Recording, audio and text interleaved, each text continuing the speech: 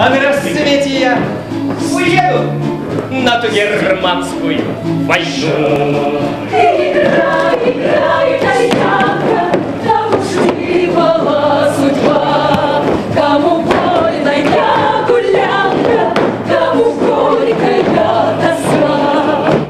Спектакль «Бумбараж» здесь играют уже 20 лет. Постановка самарского «Тюза» открыла в 1997 году новую сцену «Самарта». На следующий год спектакль выдвинули на «Золотую маску» почти во всех номинациях. Высшую театральную награду «Бумбараж» получил за лучшую работу художника. Сегодня спектакль вместе со зрителями смотрят те, кто когда-то над ним работал. Исполнитель роли Бумбараша, а сейчас главный режиссер Ульяновского театра Эдуард Терехов, режиссер Адольф Шапира. Новое дело, оно всегда привлекательно, а это было новое дело.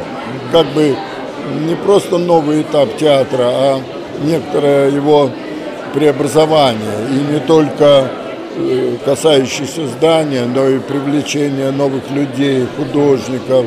Эта постановка необычная. Главные роли исполняют актеры из первого состава и современная труппа. Не сомневаюсь, э, что Павел сегодня здорово сыграет эту роль, роль, но я думаю, что я буду играть, наверное, вместе с ним, поэтому я не смогу оценивать этот спектакль. Это для меня слишком эмоционально для того, чтобы оценивать. Это гигантская часть моей жизни, это э, этапный спектакль для меня. Со дня премьеры прошло два десятка лет, а история Бумбараша не оставляет зрителей равнодушными. Ни направо, ни налево, ой, прямо в рай.